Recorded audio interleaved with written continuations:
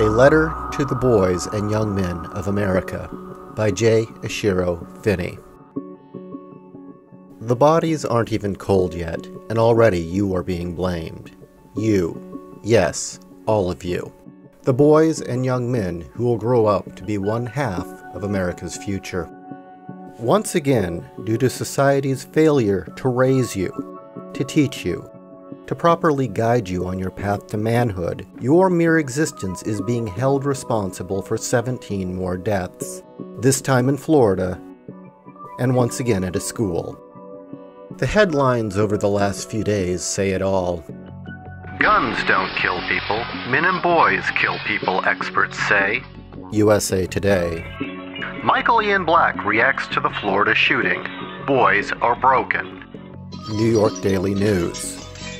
How gun violence and toxic masculinity are linked in eight tweets. The Huffington Post. Toxic white masculinity, the killer that haunts American life. Salon. Toxic masculinity is killing us. The Boston Globe. Toxic masculinity is killing us. Harper's Bazaar.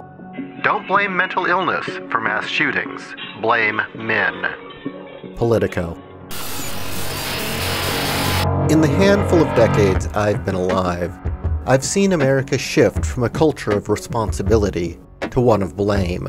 We don't solve problems anymore. We cry, we pray for, we seek to find closure, and then finally, we slaughter a sacrificial lamb for our sins.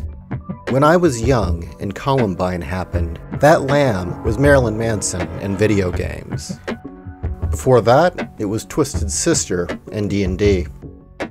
These days, though, as body counts continue to rise and excuses continue to vanish, the lamb America has chosen to sacrifice is you.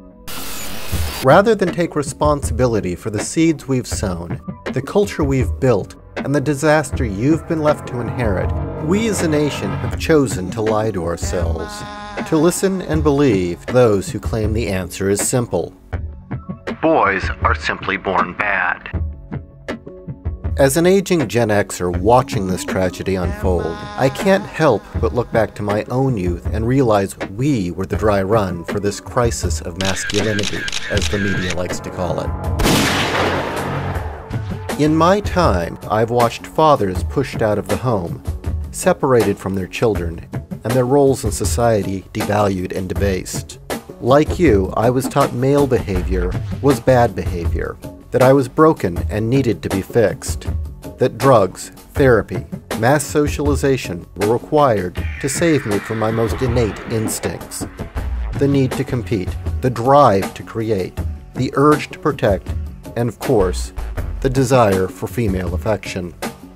Like you, I was told these instincts were not only wrong, but dangerous that due to my original sin of being born a boy, I was destined to mature into a lustful monster and an oppressor of women. All of this was burned into me before I even reached college, where campus policy actually assumed all men to be rapists waiting to happen. It isn't hard to see how we got here, to an age when America is more than willing to sacrifice its boys. To quote Fight Club, we're a generation of men raised by women, and the women who raised my generation had a saying All men are pigs. But there's another saying those very same women were enamored with, and that is the hand that rocks the cradle rules the world. So here we are, coming close to 50 years of single mothers raising their boys as if they were animals. That's two generations of young men raised to believe they're broken, immoral, dangerous, that their natural state, if left unchecked and unmedicated, is a sexual ticking time bomb of rape and abuse. That is half a century of academia peddling a grim version of history that holds your gender personally responsible for all the wrongs to have ever happened in the world. That is a press that is right now blaming you for every school shooting that has ever occurred. After all this, how could there not be a crisis of masculinity? So, to the boys and young men of America, please hear me when I say it isn't you who should be apologizing for the state of our world today. This mess was set in motion long before you were ever born. You are not bad. You are not broken. You are not evil or a sexual abuser in waiting. You are boys who were robbed of your right to be men.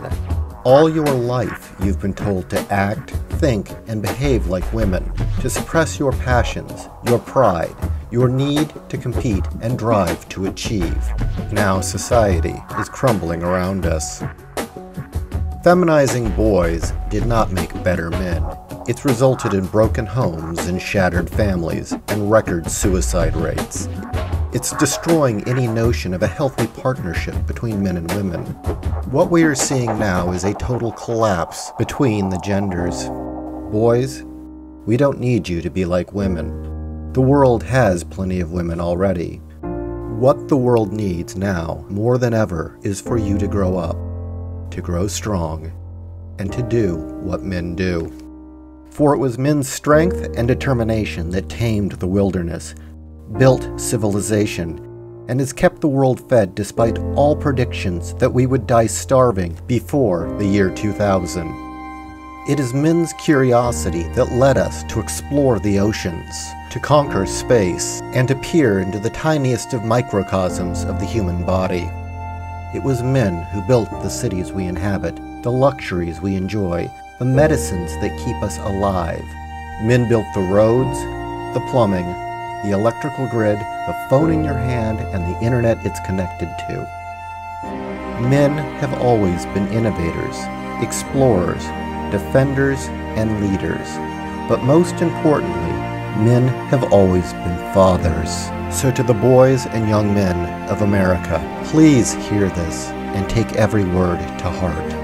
The world needs you.